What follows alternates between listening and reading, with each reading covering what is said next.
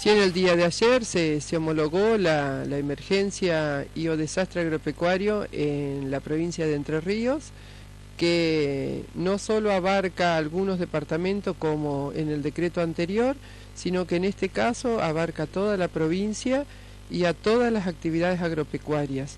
Tal es así que mm, podemos hablar de agricultura, ganadería, citricultura, horticultura, apícola, forestación, eh, avícola, o sea, todas las actividades están comprendidas en esta emergencia agropecuaria.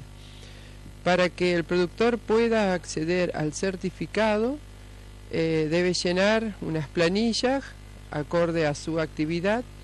Eh, las mismas se encuentran en la oficina de la municipalidad del Consejo Consultivo de Políticas Agropecuarias.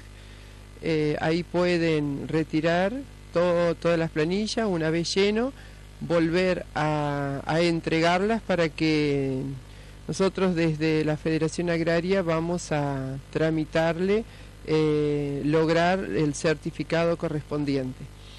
Una vez que tenemos el certificado, ya con los datos que nos dejan, los llamaremos para que puedan ir retirándolo y tener también los beneficios que, tanto se necesitan en este estado que estamos.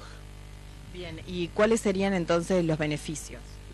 Básicamente, eh, en cuanto al impuesto inmobiliario, se, se pospone el pago del impuesto hasta la duración de la emergencia y eh, también en cuanto a algunos vencimientos de créditos, eh, pueden haber nuevos beneficios que no son habituales a los, a los que uno estaba acostumbrado, van a surgir, eh, van a acompañar a esta situación nuevos beneficios que eh, estamos tratando de gestionar y de, lograr en cuanto a mm, temas de la FIP, temas de, de la TER, tema de impuesto inmobiliario, temas crediticios.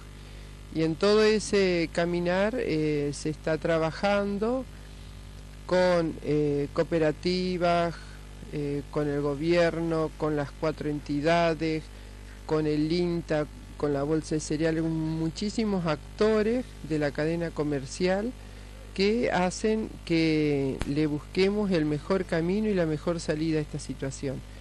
se está viendo la posibilidad de eh, unos lineamientos de crédito a cinco años.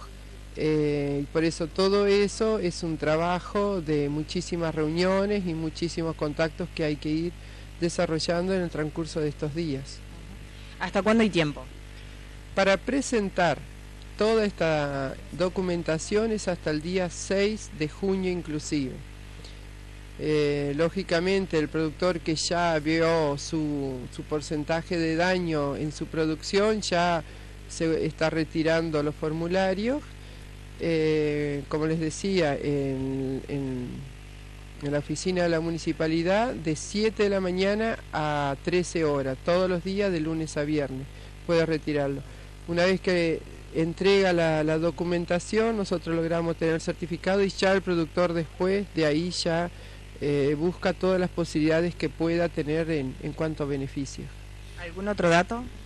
Eh, sí, que la, a veces uno dice qué hacen las entidades, pero eh, he visto un movimiento muy amplio y un, y un esfuerzo enorme que han hecho los dirigentes de las entidades en conjunto con la parte gubernamental para que esto se lleve a cabo y prontamente.